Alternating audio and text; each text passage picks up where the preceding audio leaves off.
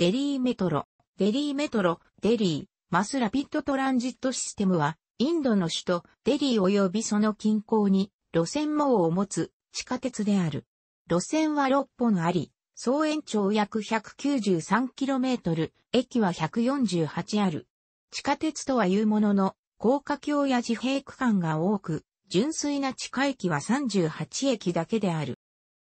地下鉄は、デリー開発公社、 Delhi Development Authority が設立された1984年に大量輸送機関を街に作るということで計画された。インド政府とデリー政府は1995年に DMRC を設立。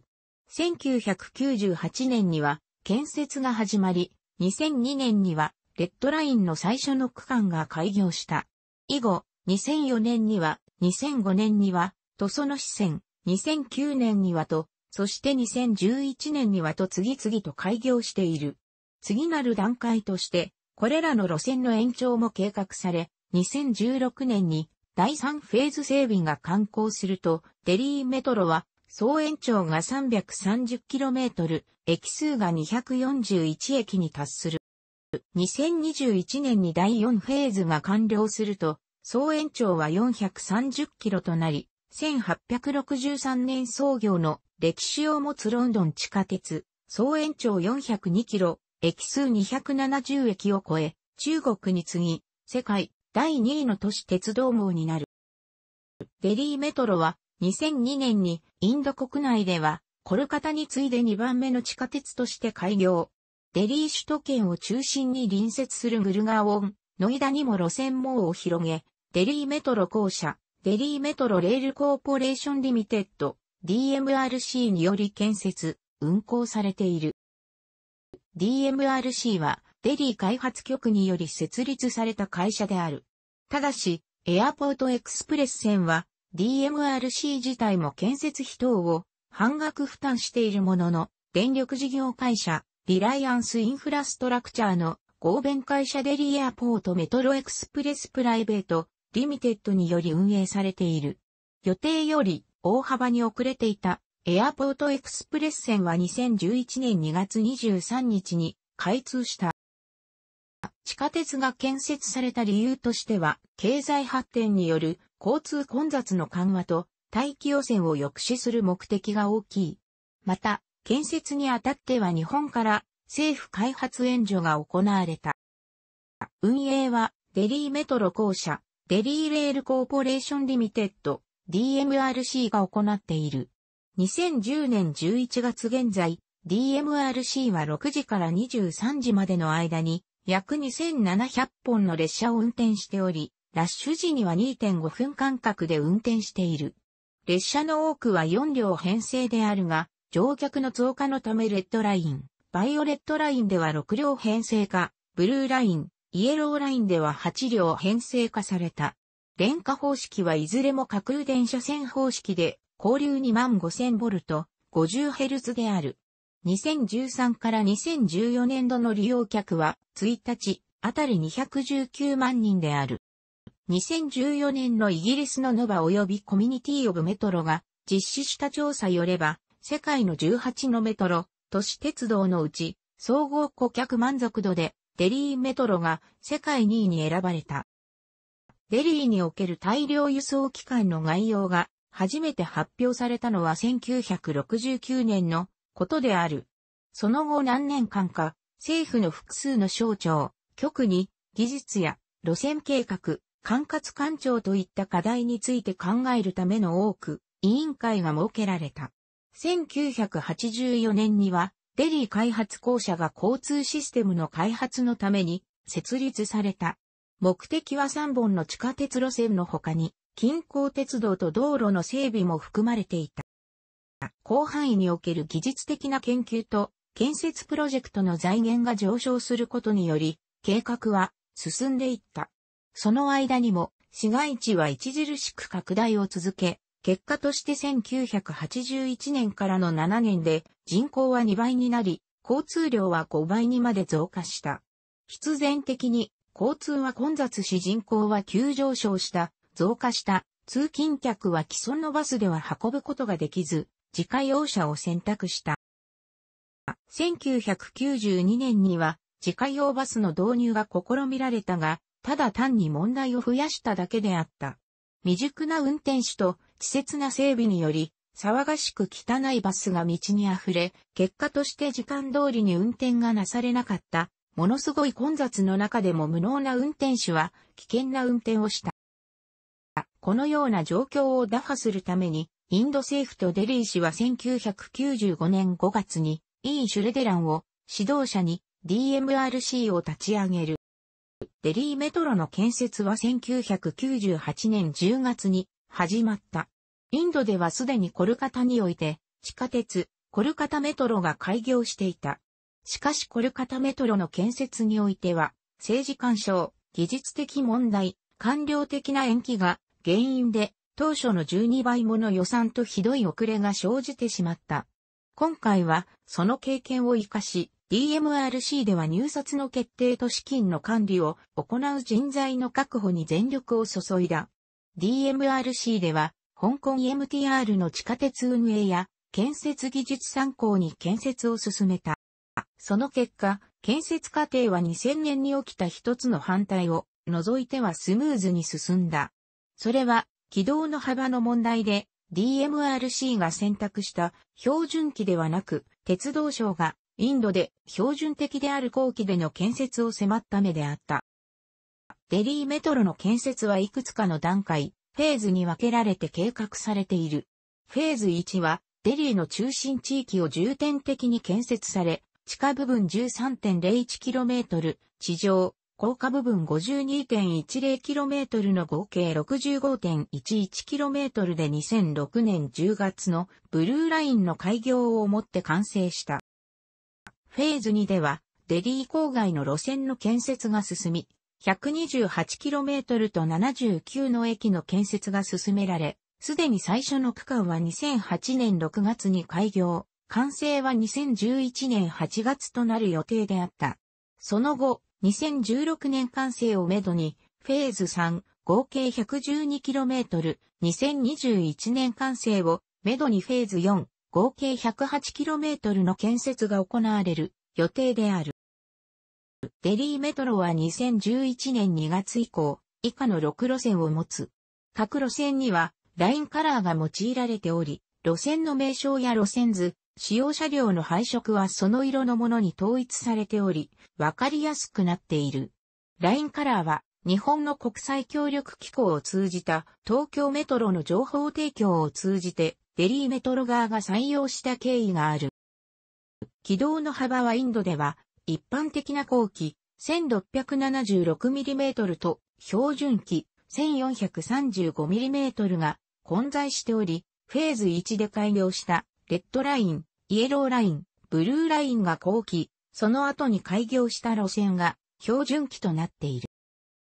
レッドラインはメトロ開業時に最初にできた路線1号線であり、2002年12月25日に最初の区間であるシャダラ駅からテティスハザリ駅、ティスハザリ駅までが開業した。その後3回の延伸工事を経て2008年6月以降は西部のリッハラ駅、ライスラから東部のディシャドガーデン駅、デルシャドガーデンまでの 25.15km を結んでいる。ほとんどの区間で高架橋を通り、地下鉄というイメージは薄い路線である。路線図での表現、及び使用車両の色は赤色、A、レッドである。イエローラインは2004年12月20日に最初の区間が開通したデリーメトロで2番目に開業した路線2号線であり、地下を通る最初の路線であった。路線図における表現、及び使用車両の色は黄色、A、イエローである。ブルーラインは3番目に開通した路線であり、最初の区間は2005年12月31日に開業した。デリー市街へと伸びる最初の路線であり、デリー市を中心にして西端はドワーカーに、東端は衛星都市ノイダにまたがっている。2010年1月には途中のヤムナーバンク駅、 Yamuna Bank から分岐してアナンドビハーまで至る支線が完成し、2011年7月にはバイシャリー駅まで伸びている。既存の路線が3号線と呼ばれるのに対し、この支線は4号線と呼ばれている。路線図及び車体の配色は青色、A、ブルーである。路線の大半は地上を走り、地下区間はプラガティマイダン駅の先からラーマクリシュナアシュラムマーグ駅までの区間と終点のエアポートエクスプレス線との乗り換え駅となるドワールカクター21駅付近のみとなっている。グリーンラインは2010年4月に最初の区間が開業した。5号線とも言われる。デリーで4番目の新規地下鉄路線である。これまでに開通していたレッドライン、イエローライン、ブルーラインと異なり軌道幅が国際標準機 1435mm で建設されている。全区間地上を走っており地下区間はない。路線図及び車体の配色は緑色、英、Green である。バイオレットラインはデリーにおける5番目の新規地下鉄路線で2010年10月に最初の区間が開業した。6号線とも言われる。グリーンラインに続き、標準軌を採用した路線である。デリー中心地のインド国鉄ニューデリー駅からインディラガンディ国際空港までを結ぶ速達路線として2011年2月に開業した。デリーメトロ公社が運営する他の路線と異なり、電力事業会社、 Reliance Infrastructure との合弁会社 Delhi Airport Metro Express Private、Limited により運営されている。この路線も標準軌を採用、平均駅間距離は 4km 余りと他の路線に比べて長く、最高速度時速 135km の高速運転に対応している。また、運賃体系も他の路線とは異なっている。デリーエアポートメトロエクスプレス、 Delhi Airport Metro Express、DAME もしくはオレンジライン、 Orange Line と呼ばれる。路線図の配色は橙色、英、Orange であるが、車体はオレンジではない。なお、高架構造に問題が見つかったとして、検査と修復のために2012年7月8日より2ヶ月の予定で運行を中止した。2013年1月に運行を再開した。建設中路線。2018年3月14日に部分開業。7号線とも言われる。8号線とも言われる。2017年12月25日に部分開業。2018年5月29日に全線開業したインディラ・ガンディ国際空港のターミナル 1D に接続する路線である。デリーメトロの車両は広軌 1676mm を採用するレッドライン、イエローライン、ブルーラインのものと標準機 1435mm を採用するグリーンライン、バイオレットライン、エアポートエクスプレスラインに分けられる。また、標準軌を採用する路線の中でも、エアポートエクスプレスライン用車両は、車内設備などの点において、他の通勤型車両とは、印象が大きく異なる。初期段階、フェーズ1、いずれも、高機路線用では韓国、現代、ロテムと日本、三菱電機、三菱商事による外資系コンソーシアムが落札しており、ロテムが車体を三菱電機が伝送品を納入した。このうちロテムが担当する車体の製造については、インド国営重工業メーカーのビムルに技術移転がなされて、ビムルが製造している。フェーズ2の高キロ専用では、ドイツのボンバルディアトランスポーテーションが受注、一部をドイツやスウェーデンの工場で作った後は、インド工場に拠点を移し、計500両余りを納入している。標準機用車両では、ルベムのバンガロール工場で製造され納入した。エアポートエクスプレスラインは、スペインのシーフが受注している。高機用車両、標準機車両ともに、ステンレス製無塗装で丸みを帯びており、車体下部が広く上部が狭い台形型の断面で、どれもよく似ている。ドアは外吊り式、エアポートエクスプレス用車両は、プラグドア。交流高圧化線電化であり、屋根上にはパンタグラフを搭載、クーラーもすべての車両に搭載している。基本的にオールロングシートであり、車内には立ち客用にポールと吊り革が備え付けられている。エアポートエクスプレスラインのみはオールクロスシートを採用し、トランクなどを置く荷物スペースが各車両に設けられている。デリーメトロの各路線は6時から23時まで3分から5分ごとに運行しており、各駅間の最高速度は時速 80km、平均停車時間は20秒である。接近放送などの案内放送は自動化されており、ヒンディー語と英語に対応している。また、多くの駅では ATM、レストラン、コンビニエンスストアなどが併設されている。列車内及び駅構内では飲食、喫煙、ガムを噛むことは禁止されている。また、車両や駅は耐火性素材が使われ、万が一出火した時のために火災警報器も設置されている。